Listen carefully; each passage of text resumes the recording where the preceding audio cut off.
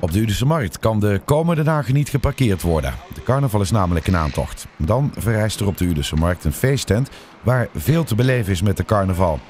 Ze zijn nog druk met de opbouw bezig, maar tijdens de carnaval zullen hier onder andere op volle knoeren, muziek aan markt en de baggermert gehouden worden.